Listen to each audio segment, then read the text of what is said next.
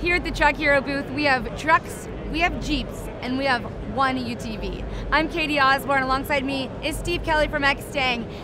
Why is there one UTV in this booth? well, Katie, that's a great question. we just launched our brand new Solid Fold 2.0 that fits a UTV. Super fun. Yeah, yeah. So we took our truck bed cover and kind of adapted it so it fit the, the back of a UTV. These things have beds that people need to carry stuff in. They may want to keep their things clean, keep the dust and the dirt out, lock things down on it. So here we go. It seems like a no-brainer, but it's so interesting that it's taken this long to really make it make sense. And one that right. looks like this Kryptek version.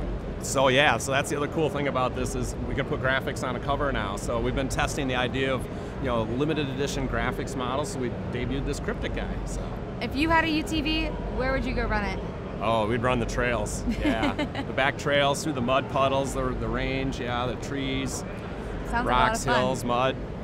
And now you have a Solid Fold 2.0. Solid Fold 2.0, yeah, yeah. it's perfect. It's just one of the many things that's here at the Truck Hero booth at SEMA 2018.